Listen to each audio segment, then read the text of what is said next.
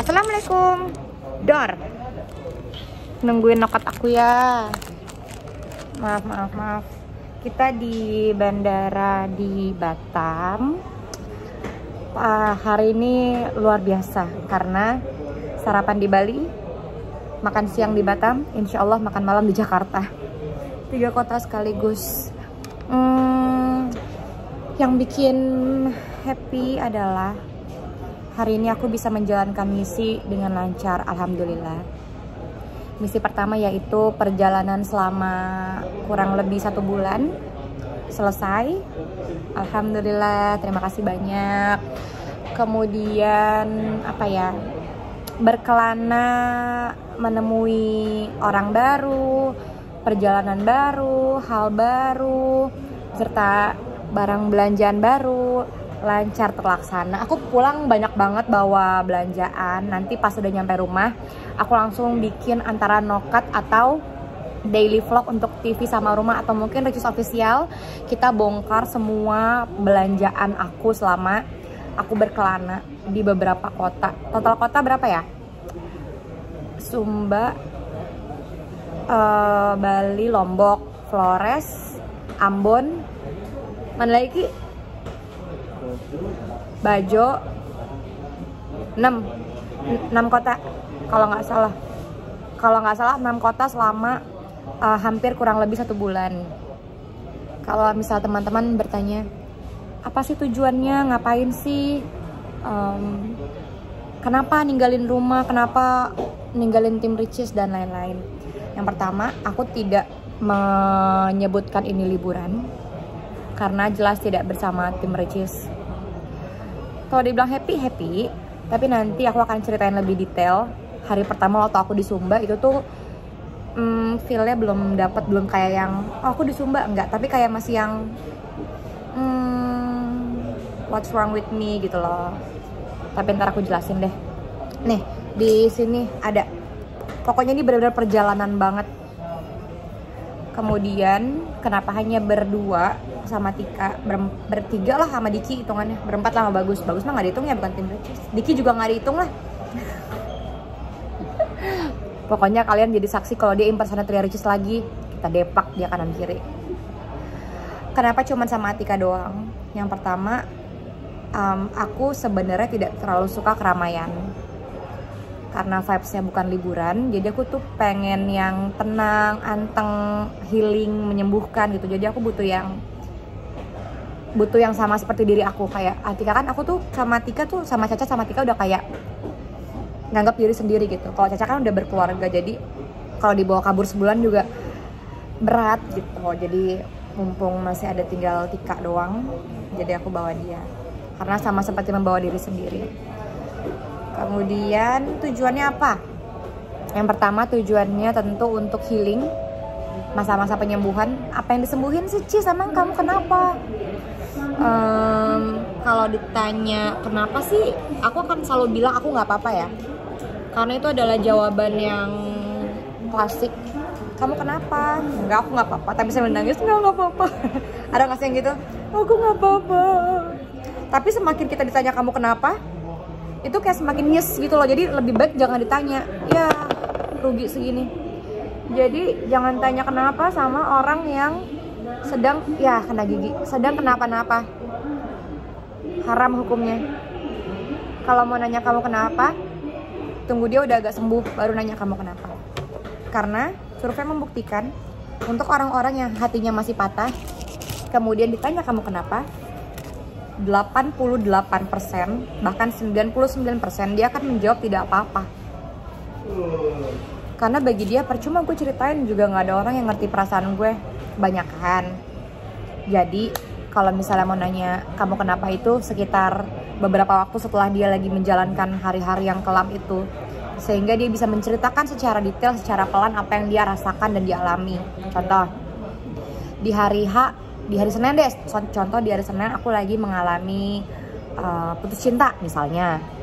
Ditanya hari Senin lu kenapa Cis? Aku akan bilang nggak apa-apa.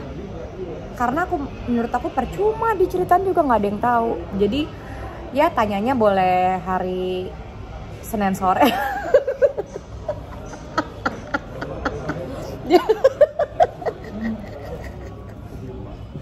Di hari sama udah gitu patah hatinya siang hanya sore.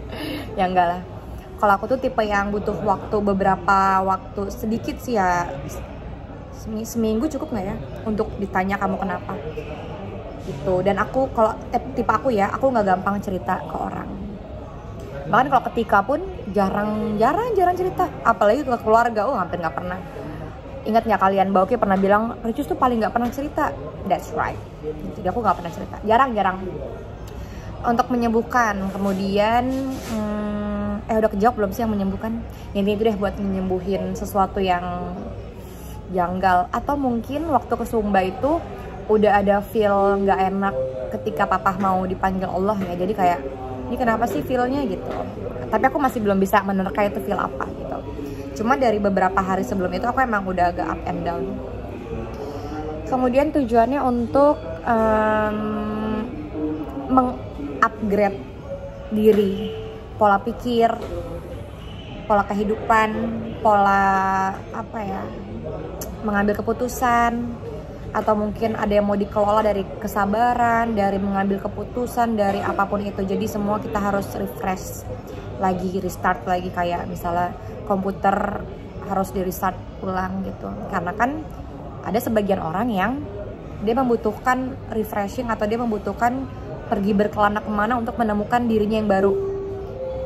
Ada juga orang yang di rumah aja ada. Tapi aku tuh tipe yang aku harus mencari suasana baru untuk kembali dengan ricis yang baru pula tapi kadang aku anaknya rumahan banget kalau di Jakarta aku di aku di rumah terus kalau nggak di mall sama anak-anak di rumah di mall di rumah di mall gitu tapi kalau misalnya keluar kota mengitari menyit menyitari mengelilingi Indonesia aku suka gitu. Terus tujuannya untuk mungkin mencari referensi karena kan ini cerita real 1000% real. Jadi mungkin untuk mencari referensi mungkin. Terus untuk bermuhasabah. Lah bagus di situ. Bermuhasabah. Ya kan gue jadi Umar Ijas lagi nih. Ki tanya Ki. Tanya. Tadi udah udah? Udah ke sana belum ayo nanggung nanya buruan nanya cepet Uma mau ceramah ini iya mau gimana ketika ada yang naruh barang tapi dia nggak mau antri. Ya. Oke. Okay. Ini mau dari segi cerita atau mau ceramah? Kalau ceramah kan nggak boleh julid. Kalau mau cerita aku mau julid nih. Ya, cerita apa ceramah? Ya, biasanya kan kalau menasihati dari kejadian tertentu. Oke, okay, jadi yang dipertanyakan apa? Oke, okay, jadi sebelum aku memberikan kiat-kiat atau memberikan uh, sesuatu pengetahuan buat kalian ya. Aku cerita dulu. Gibah. Semoga orang yang di sini tadi nonton ya vlog ini. Jadi ini aku bukan gibah, aku cuma pengen informasi ke kalian bahwa segitu pentingnya kita menerapkan antri mengantri. Kenapa penting? Karena itu bagian dari adab dan budaya kalau menurut aku. Ya kan? Karena kan itu bagian dari apa ya etika jadi barusan di Bandara Batam ini aku Diki dan Bagus bawa tuh barang-barang. Kita ngantri di tempat yang mau bip bip bip bip apa sih namanya buat barang X-ray. Eh X-ray. Nah, set taruh tuh. Kita bertiga udah tuh ngantri set. Satu wanita datang dari kanan. Set naruh tas tenteng di depan di depan kita kan kita ini, ini si tuannya tuh set. Nah, kita di sini di belakang. Dia set naruh tasnya. Aku kaget aku lihat mbak antri. Masih masih pelan tuh. Baik banget. Kedua dia nggak dengar. Mbak antri mbak. Dia cuek. Dia ada sempat nengok aku. Ketiga mbak antri mbak. Udah makin gede suaranya. Mbak antri mbak. Tak gituin. Dia naruh tas dia taruh di situ dia lari ke depan sono. Ya Allah.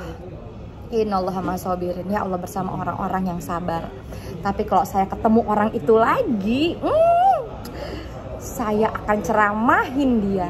Bahwasanya sebagai umat manusia kita harus menomor satukan adab dan etika. Bahwasanya yang namanya memotong antrian itu tidak baik. Apalagi memotong antrian ria ricis camkan itu. Kalau anda memotong antrian ria ricis dua pilihannya.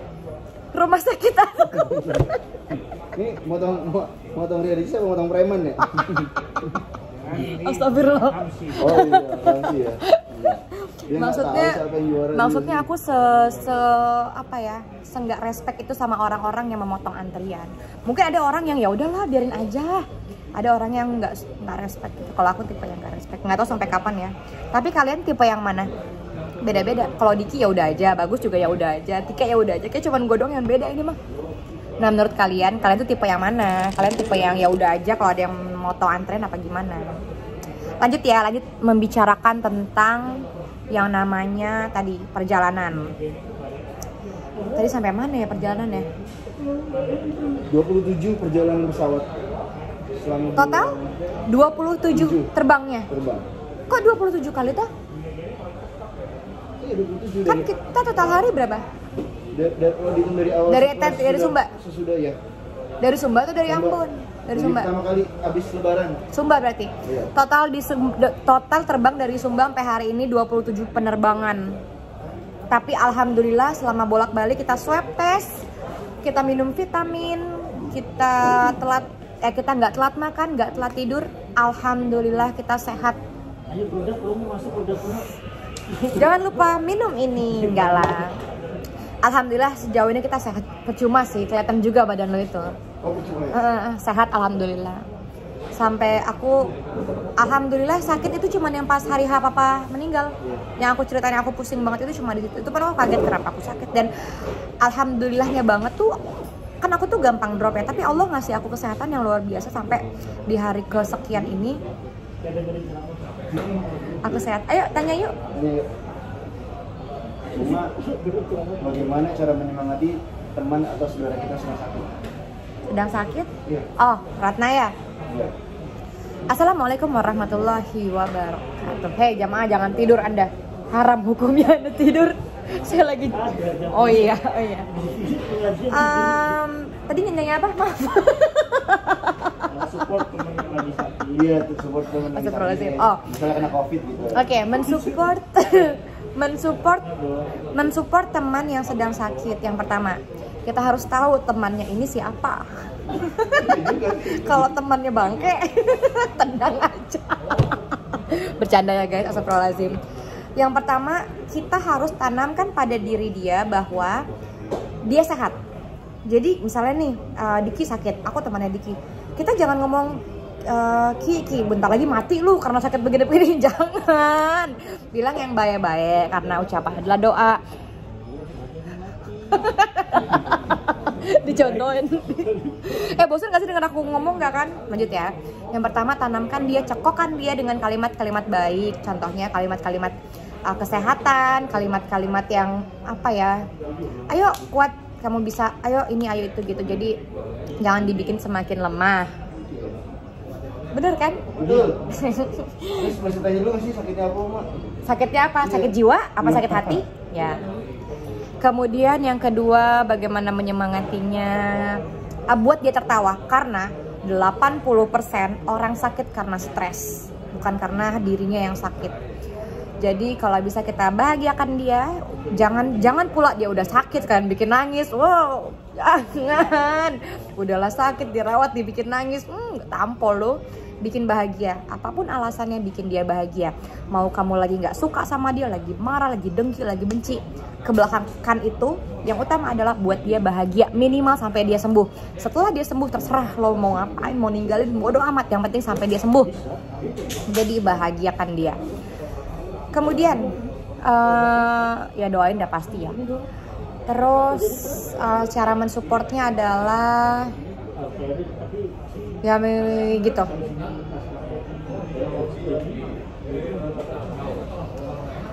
terus